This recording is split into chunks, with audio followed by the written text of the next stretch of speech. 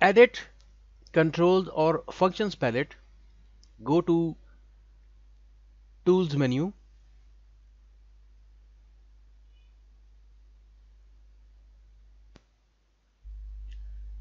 Then go to advanced. And then select edit palette set. Wait for the dialog box to appear so once the edit controls and functions palette set dialog box opens you can go to either the functions palette or the controls palette then right click and from the options you can select whatever you want to do. Let's go to user libraries on the functions palette and if we right click an open area then we can insert a sub palette a VI or VIs, an empty slot, an empty row, or a VI option or we can delete the empty slot. If we right click an icon then we can in addition to the insert palette options we can move sub palette if it's a sub palette hide synchronize item reserve spot for synchronized items copy the icon edit sub palette icon rename subpalette, synchronize with directory display path to palette file edit palette documentation edit short name. If it's a single VI then in addition to the insert menu, we can move the item, delete the item, copy its icon, place VI contents, whether VI is external editor, configure when placing VI contents, display path to palette file, and edit its short name. To move an object, just drag it to a new place and leave it there. When we have made all the changes that we needed to make then go back to the edit controls and functions palette set and press save changes the preview palette changes dialog box appears you can press continue to commit the changes or you can press the cancel button to cancel any changes you made in this editing session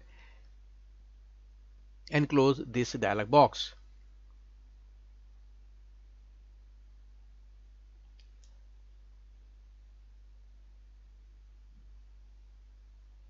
If you are on a if you want to edit the palette set for a specific target then you can you would go to still go to the tools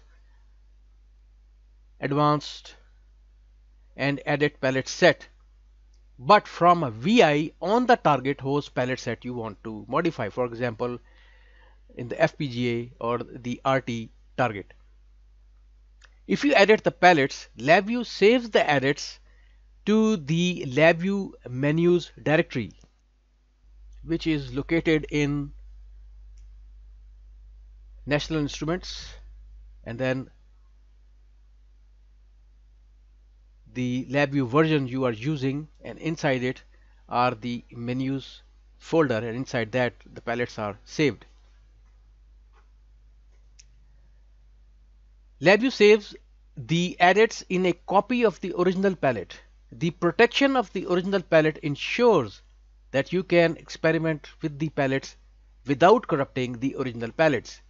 To revert to the original palettes,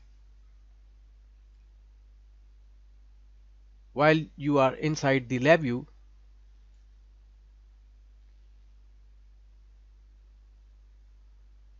and you are in edit palette set you have this option restore to default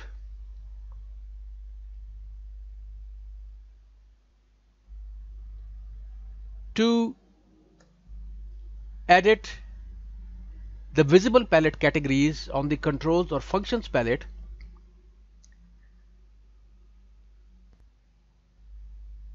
We can go to the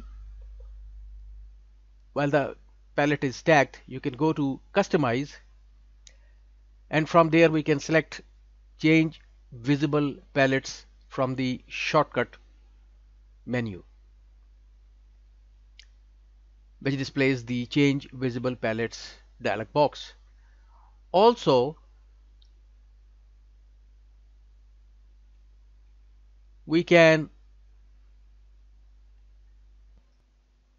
scroll to the bottom of the palette and at the bottom we would see this link change visible palettes which also launches the same dialog box and we can change the palettes visible palettes from here also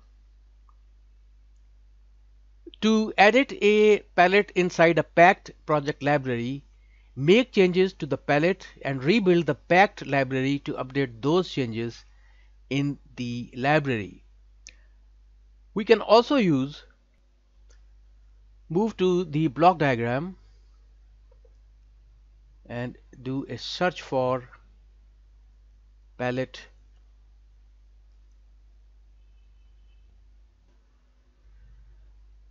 editing functions and use these to do the same changes but programmatically